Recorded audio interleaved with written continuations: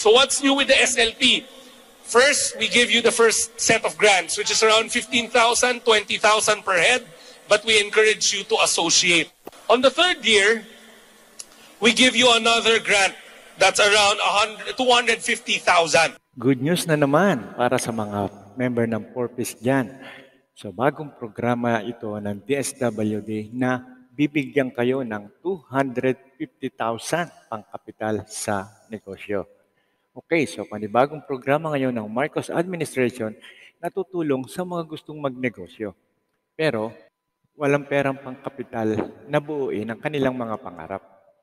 Mas pinalakas pa ng Department of Social Welfare and Development o DSWD ang kanilang Sustainable Livelihood Program o ang tinatawag nilang SLP.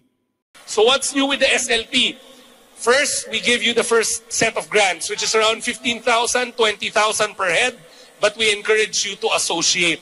Ayon kay Social Welfare Secretary Rex Gatchelian, nais ng Marcos administration na tulungan ang mga mahihirap na Pinoy na umangat sa buhay. On the third year, we give you another grant that's around 100 250,000.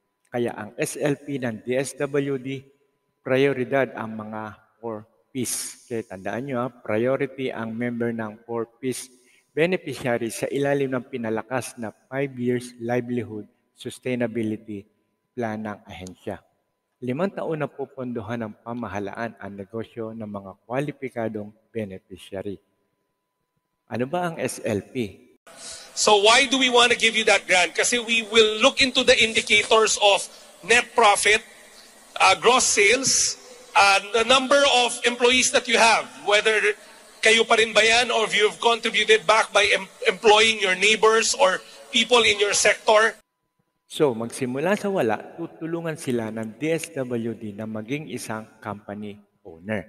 So, di katulad ng unang programa na dati yung SLP, yung original na program, wala nang kasunod na grant matapos magbigay ng 15,000, 20,000 ang DSWD ng puhunan. So, hanggang doon na lang. Pero itong bago ngayon ay hanggang limang taon kayo aalalayan ng DSWD. On the fourth year, we provide you again the necessary technical inputs. We provide you the necessary uh, capacity building technology. And then on the fifth year, we once again look at your nets, your gross sales, your net profit, and your uh, formalization process. Meaning, nagkakaroon ka na ba ng rules inside your company? It's no longer a mom and pop uh, enterprise. If we see that you are gradually progressing, we will give you the final input of another 100,000. Okay? So, ah narito ang mga dapat niyong gawin para sa mga gusto mag-apply sa programa. And like every program, you just go to the field office and they will orient you and brief you on the program. Okay, so magpunta lang tayo sa pinakamalapit na DSWD office sa inyong lugar at mag-inquire tungkol sa programa na ito. Tandaan nyo, ito ay para sa inyo.